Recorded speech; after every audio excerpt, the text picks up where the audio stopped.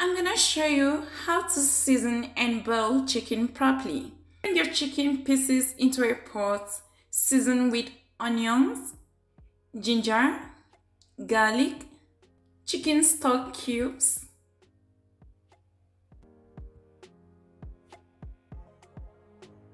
Also add some all-purpose seasoning, curry powder, thyme, salt, and crushed scotch bonnet pepper. Add some bay leaves and finally add water to slightly cover. Place the lid over and cook for 10 minutes.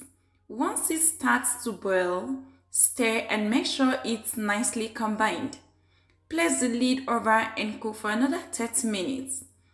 After 30 minutes, check for doneness and your chicken is ready.